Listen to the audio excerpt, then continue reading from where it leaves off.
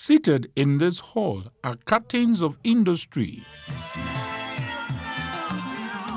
It is the 55th anniversary dinner of Chartered Institute of Bankers of Nigeria, CIBN.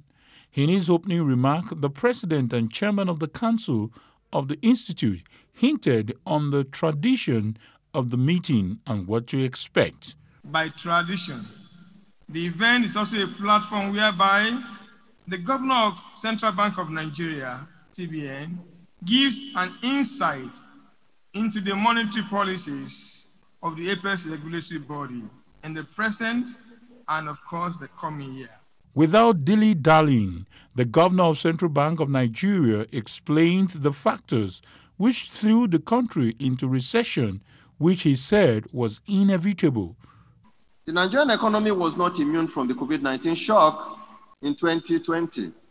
Nigeria's GDP contracted by minus 3.4% during the third quarter of 2020 a welcome improvement from minus 6.1 recorded during the second quarter. The negative rate of growth was due to a series of external factors, in addition to the lockdown measures imposed in order to curtail the spread of the virus. Despite these setbacks, the prospect of bouncing back is high. Notwithstanding the challenges posed by the current crisis, we are very optimistic that Nigeria will surmount this challenge. And indeed, recovery is in sight.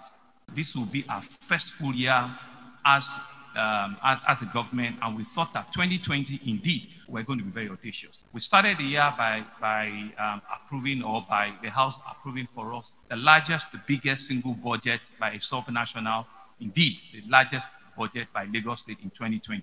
And the banking industry were a major supporter of that because very creatively, because we didn't even know that that was going to happen around December into January, we raised the biggest subnational bond as well, which was a 100 billion at that time.